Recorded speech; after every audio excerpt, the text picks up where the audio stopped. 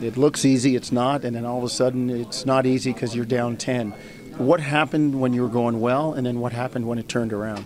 We knew they was going to make a run. You know, we on their home floor. They've been they've been playing extremely well all season, and you know we knew it was going to be tough. Sometimes you know it's harder to play with a lead, and you know um, they got going. You know we, we stayed disciplined, and you know we executed when we need to. You finished the game I think eight eighth of their last 12 points. What's your mindset when you come back in? I think you're down five and you scored I think six in a row. Win.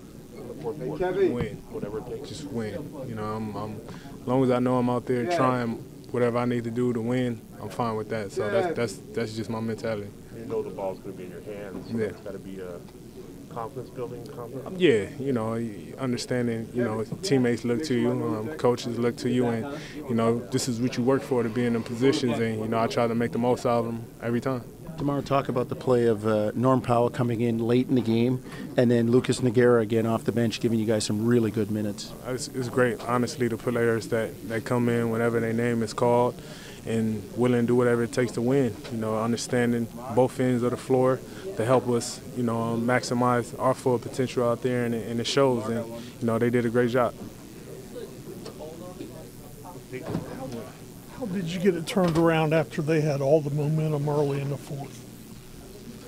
Uh, I, you know, I say we're experienced team at this point. You know, um, a lot of us been got a lot of playoff experience now. Um, understand what it takes to win, how hard it takes to win, whether you down or whether you up, and you know we thrive in moments like this, and you know, um, you know that's what it came down to. What, what did you guys do with Kemba? He was he had it going. This is the first time in 10 games when he scored 30. He Okay. won the last nine. He scores 30 tonight, but you guys shut him down. He scored 40. Um, um, He was over 30 tonight. Yeah. Um,